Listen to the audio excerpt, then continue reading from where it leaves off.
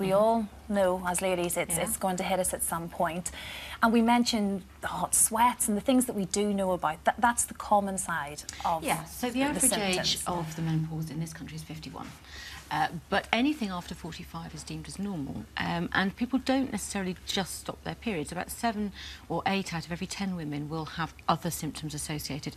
And I'm sure if we went down the embankment today and said, right, you know, what are the symptoms? Even the men would be able to tell you about night sweats and hot flushes. I think it's less well recognised that a lot of women really struggle with confidence issues, self-esteem, mood swings, feeling spontaneously tearful, memory issues, not being able to concentrate. Um, and if you're somebody who's actually always been quite with it, that is really frightening. Um, and if you don't know about that as the menopause, you really don't know what's going on. And there are other things as well: dry skin, thinning hair, joint pains. I mean, you name it, really. and you can blame Yes, the menopause on it. Absolutely, Christy. But you were nodding there, obviously, in, in agreement, and, and you had a lot of those symptoms as well. But you also did still have your period, didn't you, at that Yes, stage, so- which was the confusing Exactly. phase. So the reason I wrote about it initially is because I felt so strongly that I had no idea that this could be that. Ang- what I had was anxiety. I mean, I left the house. I was functioning, but um, I felt that something must be very wrong with my life, as opposed to recognizing it as a hormonal symptom, a changing. And it really happens during perimenopause, which isn't menopause. So uh, apparently that's the 10 years leading up to menopause.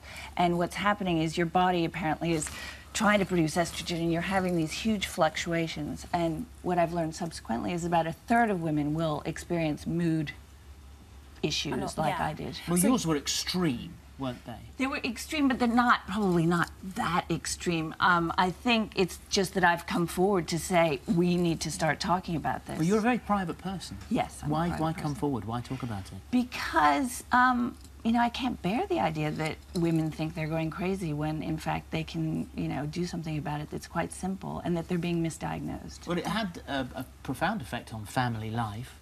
Uh, at one stage, you thought, I think on two occasions, you thought there was an intruder in the house when there wasn't. You were just you just saw something. You know, and who wants to be that person who's saying, you know, I, I, I woke up one night, it was around two o'clock in the morning, my husband was away, and I, it was a dream, but it was so vivid that I could tell you exactly, you know, I thought this man with blue hair was coming in the window, and I ran out of my room and I held the door like this and I screamed for my children. My 16 year old son, I said, There's a man in my room, there's a man in my room. And he came down with his cricket bat. Um, and then I thought, Wait a minute, I live on the fourth floor. There can't be a man in my room. And but it was that vivid. And I used to wake up occasionally just, you know, with my heart pounding. And I found out later it's completely a symptom of the fluctuating in hormones. But I'd never had a hot flash.